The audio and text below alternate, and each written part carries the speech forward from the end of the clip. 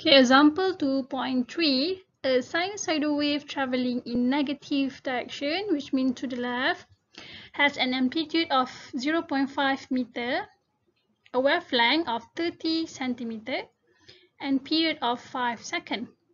At t is equal to 0, a particle at x is equal to 0 has a displacement of 0 meter. So the question asks to write an expression for the wave function uh, y in terms of x and t. Okay, so masih cara yang sama seperti example sebelum ini. So apa yang kita akan buat untuk first step, we're going to write down the general equation of wave function which is y in terms of x and t is equal to a sine omega t plus minus kx.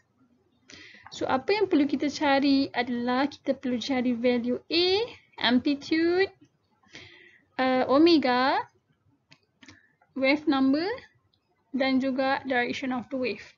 Okay. Okay, so the amplitude kita dapat daripada soalan which is A amplitude is equal to 0.5 meter and then omega omega is equal to 2 pi over t since kita ada period dekat sini 5 second. So 2 pi divided by 5 so kita akan dapat omega is equal to 0.4 pi radian per second. And next adalah wave number k So K is equal to 2 pi divided by lambda.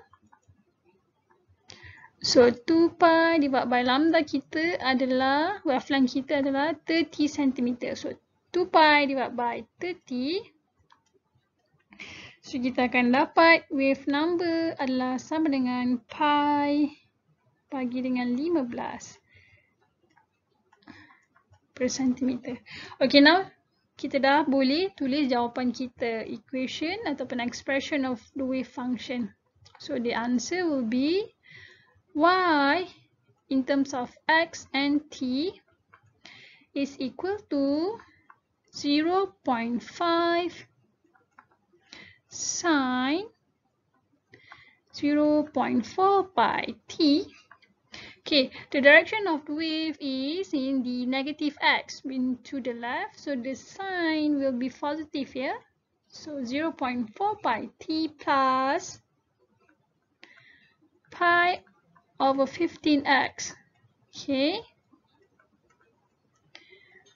Where y in meter and then x in centimeter and lastly t is in second. Okay that's it